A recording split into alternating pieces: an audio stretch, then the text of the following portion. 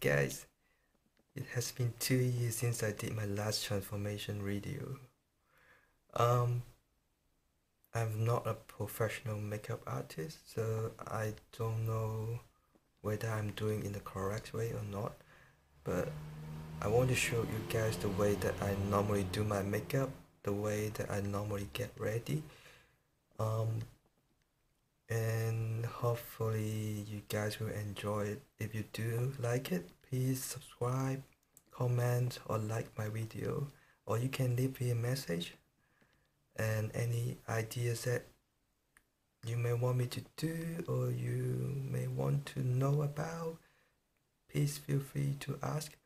And also i've been recently thinking to become a makeup artist but it does cost me a lot of money so i hope i can get a bit extra money from here and there from youtube or from other source of income.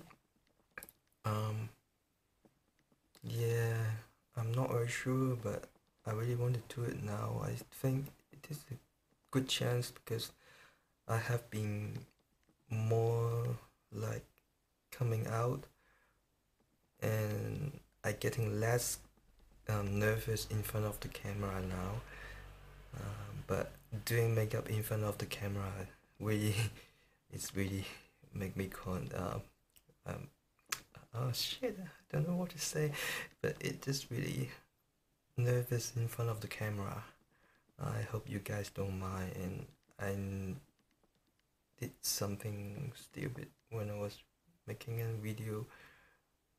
Almost draw the eyeliner into my eyes. Just don't get used to do things in the in front of the camera. So i hope you guys don't mind. And i think i've been talking too much. So uh, yes please please subscribe or like or even give me a little comment. Really appreciate that. Thank you